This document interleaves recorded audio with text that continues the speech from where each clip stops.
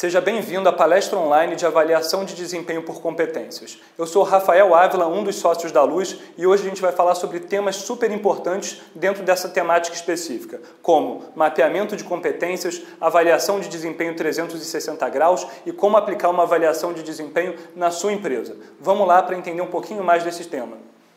Bom, como a gente estava falando, Hoje a gente vai entender todos os conceitos primordiais sobre avaliação de desempenho por competências. E a gente vai entender por que, que isso é essencial para a sua empresa. Então vamos começar falando sobre as principais premissas que existem quando a gente está falando de um assunto tão polêmico e tão importante para diversas empresas. Então se você está pensando em montar uma avaliação de desempenho para a sua empresa, obviamente a gente está falando de alguns itens que envolvem as pessoas que estão dentro da sua empresa. Então, uma premissa essencial para você ter uma boa avaliação de desempenho é você ter uma equipe nota 10, você ter uma equipe muito boa. Isso faz toda a diferença. O segundo ponto crucial também é você montar uma equipe que seja imbatível, onde todo mundo esteja totalmente comprometido com todos os itens que você está querendo desenvolver e a estratégia e propósito da sua empresa. E por fim, a gente não pode esquecer de uma das maiores premissas e mais importantes, que é justamente profissionais capazes de fazer a sua empresa crescer e que com muita vontade de aprender. Isso são premissas essenciais para qualquer avaliação de desempenho bem feita e bem organizada. Mas também nada adianta a gente falar sobre isso se a gente tiver uma empresa, e quando eu estou falando empresa, estou falando de você, gestor, que não se preocupa muito com o seu funcionário. Então, não importa, se você quer fazer uma avaliação de desempenho, você não se importa com o seu funcionário, é importante que você reavalie esses conceitos. Por exemplo, não adianta você querer falar que o seu funcionário está com desempenho ruim e você não paga nenhum salário decente para ele e você não dá os principais benefícios e auxílios. Então, quando a gente está falando de uma gestão aberta, onde você quer remunerar ou beneficiar o seu funcionário a partir de alguns itens que ele faz ou deixa de fazer, é importante que você também se coloque na posição de gestor preocupado com os seus recursos humanos e faça a melhor gestão possível desses itens. Então, normalmente, você tem que pensar se o seu funcionário está realizando todas as atividades que ele realmente gostaria de realizar, se não, será que existe uma outra posição dentro da empresa que você pode alocar ele? Ou também, mesmo você pode ver se a remuneração está ideal, se ele mora perto ou distante do seu trabalho, como você pode ajudar ele dentro desse processo. Isso é muito importante quando a gente está falando de avaliação de desempenho. E aí a gente já pode entrar no ponto essencial de toda essa discussão, que são as competências. Se a gente está falando de avaliação de desempenho, você precisa ter uma avaliação de desempenho pautada em competências. E por que eu estou falando que ela precisa ser pautada em competências? Porque não adianta você perguntar para o seu funcionário se ele está feliz ou se ele está triste, se ele está fazendo ou não o trabalho dele, porque as respostas vão ser sempre subjetivas. Quando a gente entra em uma avaliação de desempenho por competência, a gente começa a pensar em itens mais específicos, que estão ligados a comportamentos. E aí é por isso que a gente tem uma definição bem clara de competências, que competências é um conjunto de chá. Quando eu falo chá, eu estou falando de conhecimento, habilidades e atitude. Então você precisa que o seu funcionário ele tenha conhecimento, que ele saiba o que ele está fazendo, que ele tenha habilidades, que ele saiba fazer aquela atividade específica e que ele tenha atitude, proatividade, que ele realmente vá lá e faça. Então esses são conceitos super importantes quando a gente fala de competências. E isso vai ser essencial para o seu negócio e para todos os próximos pontos que a gente vai falar a partir de agora. Então, como montar a sua avaliação de competências? A gente separou isso em quatro pontos que para a gente são os pontos mais essenciais dessa atividade dentro da sua empresa, que envolvem: um, definir os cargos que vão ser avaliados. Dois, você definir as competências que você quer avaliar desses cargos. Isso é essencial. 3. Aplicação do seu questionário. E por fim, 4. Feedback e melhorias a partir dessa avaliação que você fez. Afinal de contas, não adianta nada você avaliar alguém mal ou bem e simplesmente ignorar aquele fato. Você precisa ter um plano de melhorias a partir daquela avaliação de desempenho, que pode ter sido boa, ruim ou mesclada, né? alguns itens bons, outros itens ruins. Então, indo para o nosso primeiro ponto, que é de definição dos cargos que vão ser avaliados, você tem principalmente dois grandes métodos que você pode utilizar para essa avaliação de cargos. Se você tiver uma empresa grande, com muitos funcionários, você pode fazer uma avaliação top-down, onde você tem os gestores avaliando as pessoas que estão abaixo, Então vamos colocar um exemplo aqui. Você pode ter, por exemplo, um gerente de um projeto avaliando a equipe dele. E nisso você vai ver, a partir da visão daquele gerente, quais são os principais é, funcionários ou quais estão tendo melhores avaliações. Ou você pode ter um diretor de uma área específica avaliando seus coordenadores e analistas e estagiários e por aí vai. Essa é uma a mesma forma, né, top-down, de você fazer uma avaliação de desempenho, que é de cima para baixo. E a segunda forma é uma avaliação um pouco mais colaborativa, que a gente fala onde todos avaliam todos, a famosa e conhecida avaliação 360 graus. Então, para a gente, o mais indicado quando você está numa empresa pequena é realizar uma avaliação de desempenho por competências 360 graus. Isso vai ser essencial quando você quiser entender se você está indo bem ou mal como gestor e também se os seus funcionários estão indo bem ou mal a partir da visão dos companheiros deles de trabalho. Porque sempre, e sempre isso vai acontecer, você tem uma visão e outras pessoas vão ter visões diferentes das suas a partir daquela prática determinada e por aí vai. Então, só para falar de algumas características principais, quando você avalia de cima, de cima para baixo, você tem uma atividade mais simples de ser realizada, mais rápida, mas ao mesmo tempo você dá menos abertura para os seus funcionários e é uma coisa mais impositiva que normalmente vem da grande cadeia de gestão, da diretoria, dos sócios, de quem está fazendo a gestão mesmo da empresa. E por outro lado, se você tem é, uma avaliação de desempenho 360 graus, onde todos avaliam todos, você tem uma coisa um pouco mais democrática, onde todos participam e conseguem colocar a sua opinião, mas ao mesmo tempo, obviamente, você vai ter um pouco mais de trabalho para colocar isso em prática e você vai ter uma preocupação maior também com sigilo de informações. Afinal, é um item muito delicado quando um colega de trabalho avalia outro. Né? Se ele faz uma avaliação ruim, isso pode gerar uma quebra de amizade, pode gerar uma quebra de, de interesses, de conversas, e isso é bem importante que você tome um cuidado bem legal.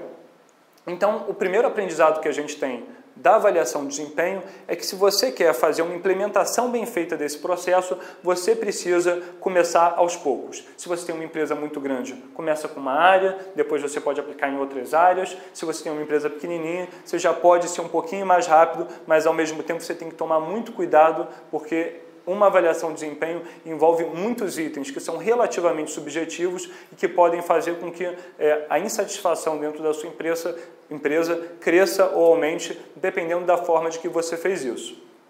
Então, passando para o nosso segundo ponto agora, que é um ponto bem legal, é o de definição das competências para aquele cargo específico que você quer analisar ou para aqueles cargos específicos que você se propôs a analisar. E quando a gente está falando de definição de competências, a gente começa a falar de quais são as competências essenciais para a sua empresa. Então você tem que tomar muito cuidado aí também, porque você pode ter competências muito gerais e que são importantes para a sua empresa, mas você nunca pode esquecer, e aí é a parte mais essencial desse mapeamento de competências, de você entender quais competências usar, que é justamente de quais são as competências técnicas e específicas específicas para aquele cargo que são necessárias. Então, no nosso exemplo aqui, a gente está vendo um motorista de trator e normalmente um trator eu imagino, nunca tentei dirigir, não é tão fácil assim de se dirigir. Se a gente fosse mapear as competências para esse cargo de motorista de trator, com certeza uma das competências avaliadas seria a capacidade de direção do trator. E isso seria uma das competências mais importantes. Afinal de contas, se aquele funcionário não sabe dirigir o trator, ele está colocando em risco, às vezes, a vida de pessoas, às vezes, a vida do seu bem, né, do seu equipamento, da sua máquina e por aí vai. Então, esse item é um item de essencial importância para todo o resto do que a gente vai falar hoje. Então, passando da definição de competências, você tem que evitar lugar comum, então algumas competências muito, muito abrangentes, então se ele está satisfeito ou não, se ele tem força de vontade ou não, são alguns itens muito abrangentes. Toma cuidado com esses itens, eles não são inúteis, mas ao mesmo tempo você não pode basear toda a sua avaliação em itens genéricos. Né? Além disso, é importante que você separe essas competências técnicas, como eu já falei, então de cargo para cargo você vai ter uma diferenciação disso e é importante importante que você entenda esses conceitos e você atualizar também as suas competências a cada ciclo de feedbacks. Se você atualizar as suas competências, você vai estar mais próximo de um resultado legal de acordo com aquela época da sua empresa que você está vivendo. Afinal de contas, nenhuma empresa e nenhum funcionário são estáticos. Eles mudam com o tempo e a sua avaliação de competências tem que se adaptar a essa realidade. Tendo em vista isso, a gente pode ver agora um exemplo da nossa planilha de avaliação de desempenho por competências 2.0.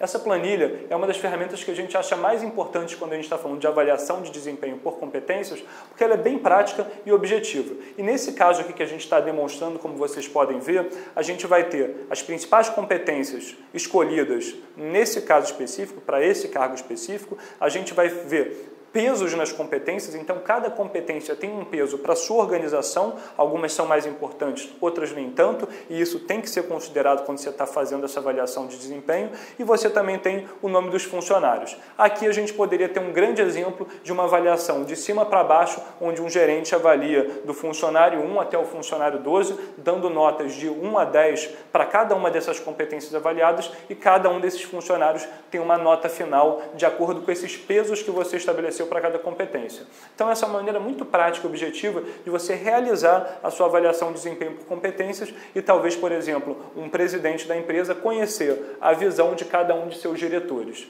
Simples assim, prático de se implementar.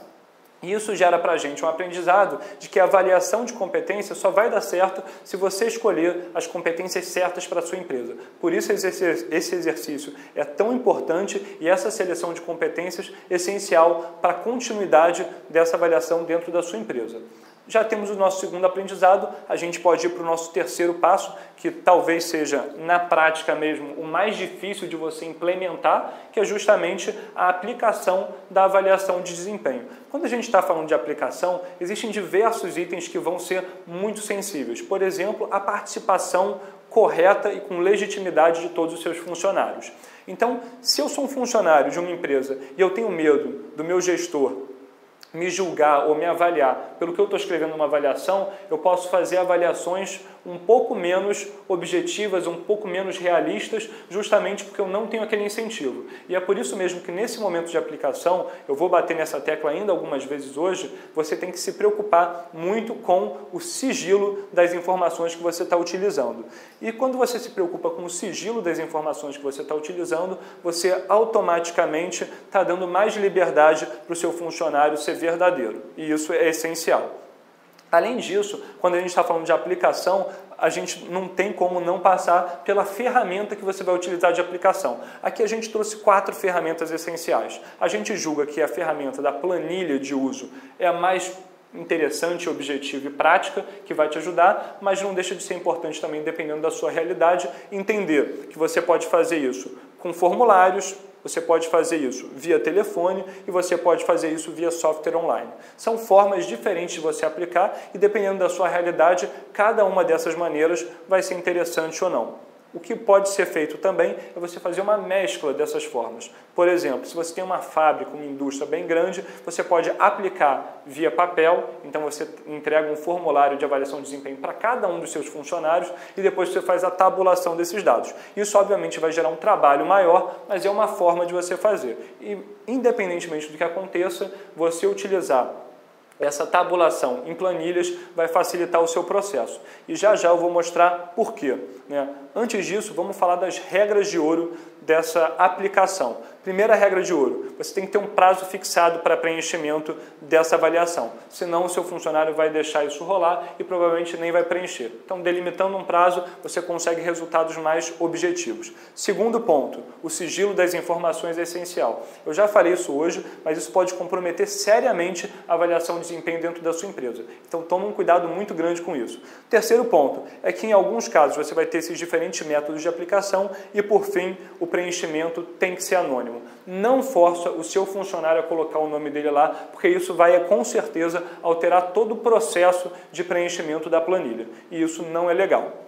Então, o nosso terceiro aprendizado, e um aprendizado essencial, é que o momento de aplicação ele é muito delicado e se você não conseguir sensibilizar a sua empresa da importância dele, dos prazos que você tem que seguir e de como você vai realizar aquilo, talvez você não tenha o melhor resultado. Então, esse ponto é muito importante por causa disso e isso leva a gente para o nosso quarto ponto, que é o de feedback e melhorias do processo a partir dessa aplicação.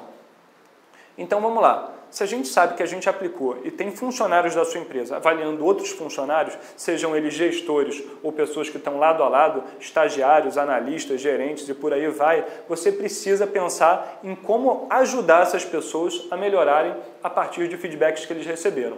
Então você pode ter tanto feedbacks muito positivos como feedbacks muito negativos, construtivos, como a gente gosta de chamar no mundo dos recursos humanos. Se você não estiver preocupado em como o seu funcionário vai receber aquela informação e melhorar com o tempo, você provavelmente não está ajudando a sua empresa a ser uma empresa melhor. Então é por isso mesmo que nesse ponto a gente fala que o feedback é o fim desse processo, ou talvez a continuidade dele, e que ele é essencial para o seu negócio. Pensou no seu feedback, você tem que pensar em algumas regras de ouro. Por exemplo, o feedback ele tem sempre que ser individual. Você não pode dar feedback para uma pessoa especificamente em uma reunião de grupo.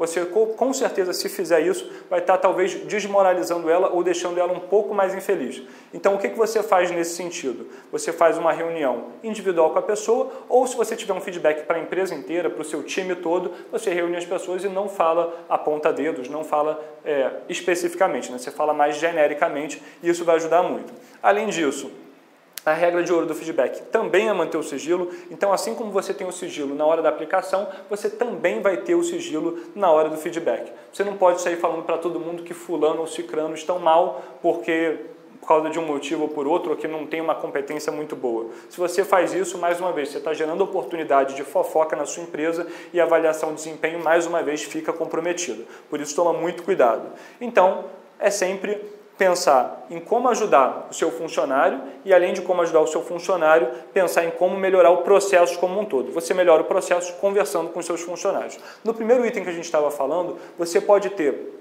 alguns gráficos já automáticos que, por exemplo, a nossa planilha gera, que você pode mostrar para ele exatamente onde ele está. Então, se você olhar aqui nesse gráfico, por exemplo, de radar, você vai ver que existem alguns pontos que esse funcionário específico, o José Carlos, ele não está bem.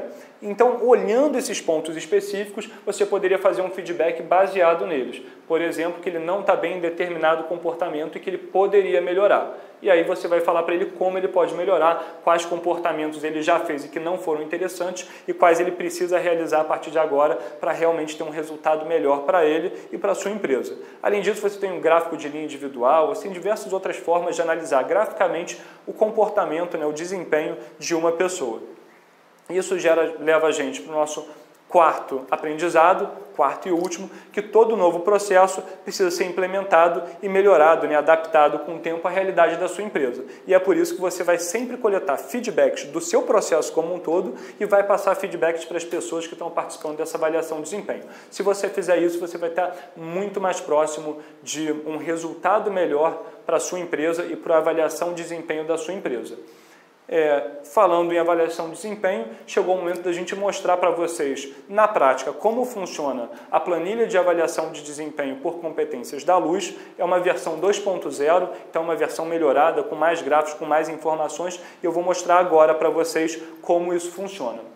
Como vocês podem ver, a nossa planilha de avaliação de desempenho por competências, assim como todas as outras na versão 2.0, tem uma aba inicial onde você vai ter uma explicação de por que utilizar, de como ela funciona, quais são as principais abas dessa planilha. Como vocês podem ver, são itens bem simples e práticos e aí a gente vai ter, a partir disso, um preenchimento da planilha. A nossa primeira aba de preenchimento, a gente usa o guia de páginas, é a de avaliação. Então, se a gente está falando de competências, assim como a gente acabou de falar na palestra online, a gente vai precisar primeiro escolher quais são as competências que a gente vai avaliar. Então, supondo que a gente estivesse falando de um cargo que necessitasse de aulas de inglês ou de um inglês fluente, a gente entraria aqui dentro da nossa planilha e colocaria inglês fluente. Essa é uma competência essencial e por isso que eu marquei o peso dela como muito importante. São três categorias de peso só para a gente diferenciar quais são as competências mais importantes para a empresa e quais são as competências não tão importantes assim. A partir disso, a gente vai preenchendo item a item, funcionário por funcionário que vai ser avaliado, quais são as competências, segundo a nossa avaliação pessoal como gerente, que ele possui. Então, só para dar um exemplo aqui, se o funcionário 3 se, se chamasse João, a gente poderia falar que ele teve nota de trabalho de equipe 4, de liderança 6, é, de criatividade, uma, um cara muito criativo, nota 10, mas não tem muita iniciativa, 3, flexibilidade dele não está muito boa, 7, ele tem um compromisso com os prazos e normalmente costuma entregar as atividades dentro do prazo 8 e por aí vai. Para cada item de competência, você dá uma nota para ele. Obviamente, essa nota precisa ser embasada, como eu já falei também, por comportamentos. Então, toda competência precisa ser embasada em comportamentos. Então, quando você vai dar um feedback, por exemplo, falando que o cara tem pouco conhecimento é, na prática de Excel, você precisa mostrar para ele trabalhos em Excel que ele fez e que não foram muito bons e que por algum motivo você não gostou e a partir disso você dá esse feedback para ele. O que não existe, não pode ser feito é você dar um feedback baseado só na sua subjetividade. Isso pode pegar muito mal quando ele fizer algum questionamento e você não souber responder por que, que você deu aquela nota para ele ou não. No final das contas, como a gente pode ver aqui, ele tem uma nota geral, nesse caso 137,5, que é uma nota mediana em relação à empresa como um todo. A partir desse preenchimento, e esse é o único preenchimento que você precisa fazer na planilha, a gente vai para a aba de relatório por funcionário. Então você tem uma série de funcionários dentro da nossa planilha, você pode avaliar até 50 funcionários e você pode escolher cada um desses individualmente para ver quais são os gráficos que esse funcionário tem. Então vamos fazer no caso do João. Eu quero avaliar o João, o João tem essas notas, então dentro do gráfico de radar dele eu consigo perceber que a iniciativa dele está muito abaixo dos outros e que a ética também não está muito boa. Então esses são itens que eu preciso me preocupar ao dar o feedback para o João.